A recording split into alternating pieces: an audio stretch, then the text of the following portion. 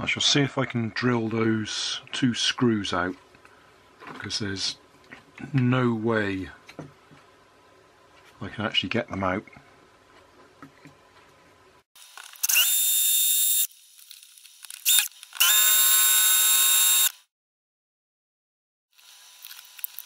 We've managed to loosen those screw heads. We've probably melted the plastic, but it's coming apart now. So I'll zoom in a bit because it's very likely it'll all spring apart and I'll lose everything. Here we go.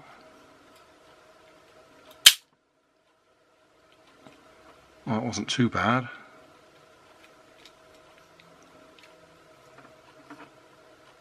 Right. Well, that's the two screw heads I had to drill through and by drilling them I've probably heated them up and that's melted the plastic and released them because they're still in place.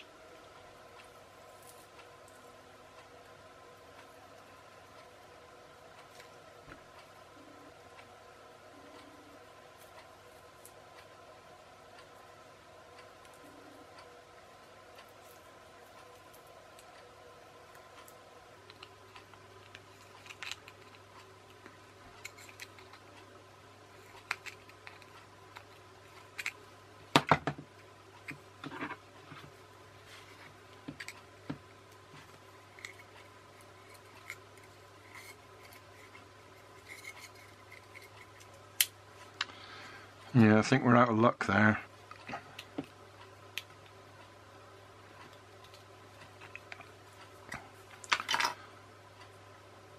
The plastic bit there that's supposed to grip the inside of the spring is broken. In fact, I saw a little bit of it laying around down here somewhere. Just a tiny little bit of white, white plastic. Yeah, there it is. So that should be in there, gripping the inside of the spring. I don't think we're going to get very far with this. Even though I've managed to get those screws out, there's too many broken bits in here. Like the tooth that's missing off there.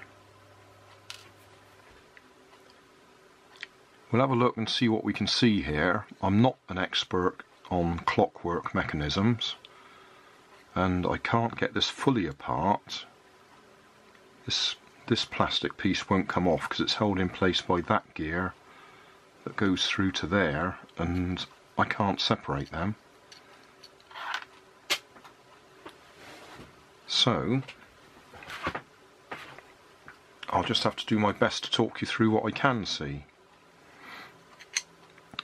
This is the gear that's completely rusty on the end of the shaft and where that's completely rusty there should be a gear that drives the back axle. So that goes through there and makes contact with this gear. On the back of there there's another little spring effect. I don't know if it's a clutch, that's probably what it is.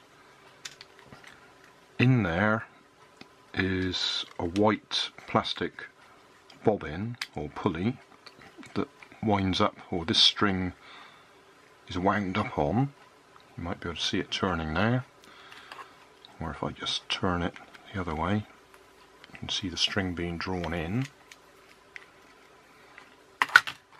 On the string there's this plastic piece here that I think that knot stops the string going all the way through and it pulls that plastic piece down which this piece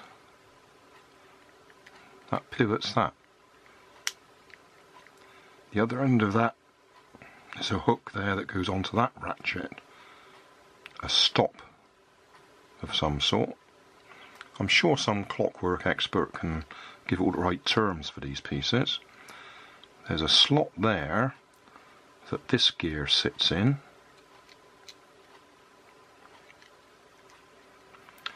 in that square hole there that gear is keyed in so when that gear is in that position turning that gear turns this gear. But then we've got this,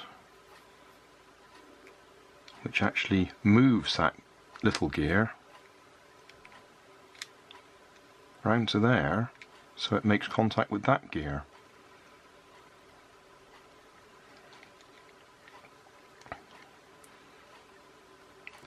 And then that's the clockwork spring that is actually wound up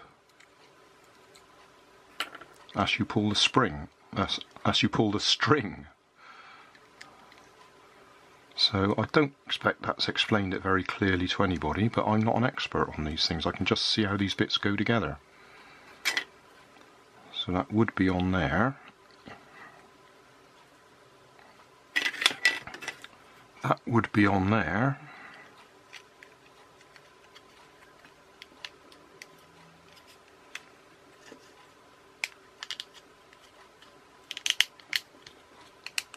I can get all the bits to line up.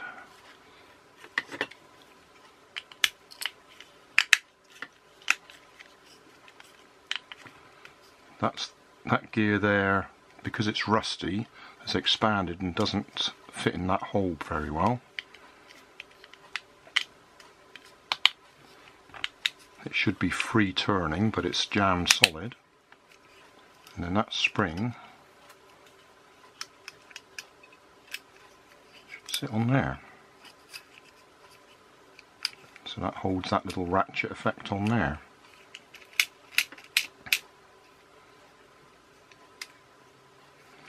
And then we should have a gear on there to turn the back wheels.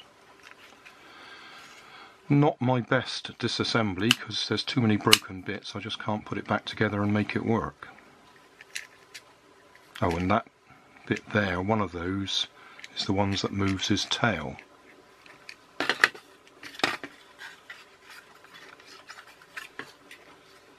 Uh, yes, as that turns,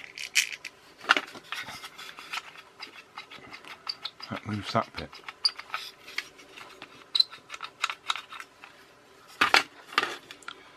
I'm afraid that's the best I can do and it's not going to work because there's too many broken bits in there. If you missed the previous episode, that's the gear that goes on that rusty shaft there. And that gear turns that gear which turns the wheels and it also turns the propeller and I'm very disappointed that I'm not going to be able to get it all back working. I suppose it might be possible to rig up in a little electric motor to run that instead. So I won't throw this away, I'll put it in a box and work on it one day.